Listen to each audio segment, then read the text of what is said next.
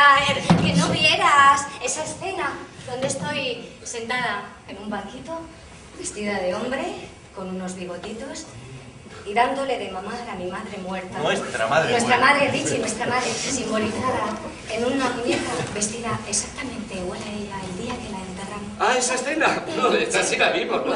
Bueno, ah, pues esa escena Fernando la escribió pensando en mí, ¿no, Marta? Estaba entusiasmado con ella y es por esa escena por lo que le van a dar el match. ¡Ah!